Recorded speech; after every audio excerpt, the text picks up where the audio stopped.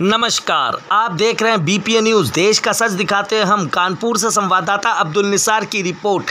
आज नव गणेशा फाउंडेशन के द्वारा ऐसे लोगों को सम्मानित किया गया जो समाज की सेवा में हमेशा तत्पर रहते हैं। देखिए खास रिपोर्ट कानपुर से।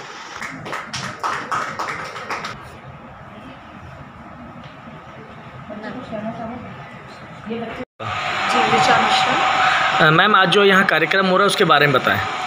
हमारी संस्था है नव गणेशा फाउंडेशन। हमने उसके तीन वर्ष पूरे किए। इस उपलक्ष्य में हमने ये कार्यक्रम रखा है। हमारे साथ जिन जिन संस्थाओं ने सामाजिक कार्य में और समाज सेवा में हमारा सहयोग किया है आज के कार्यक्रम के द्वारा हम उन सबको सम्मानित करना चाहते हैं। कितने लोगों को सम्मानित कर रहे हैं मैम? जी हम लोग चालीस लोगों को सम्मानित कर रहे हैं। मुख्य अतिथि कौन है?